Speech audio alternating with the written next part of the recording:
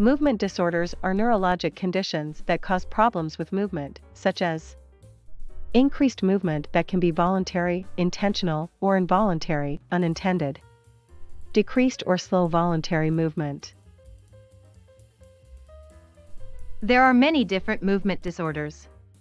Some of the more common types include ataxia, the loss of muscle coordination, dystonia, in which involuntary contractions of your muscles cause twisting and repetitive movements.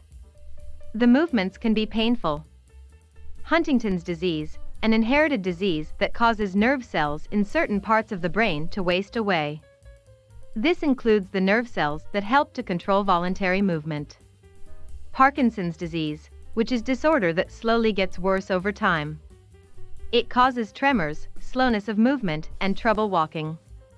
Tourette syndrome, a condition which causes people to make sudden twitches, movements, or sounds, tics. Tremor and essential tremor, which cause involuntary trembling or shaking movements. The movements may be in one or more parts of your body.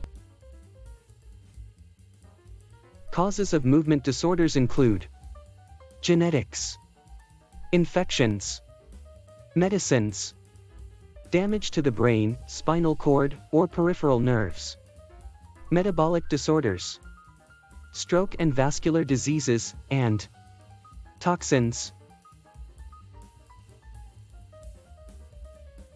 Treatment varies by disorder. Medicines can cure some disorders. Others get better when an underlying disease is treated. Often, however, there is no cure. In that case, the goal of treatment is to improve symptoms and relieve pain.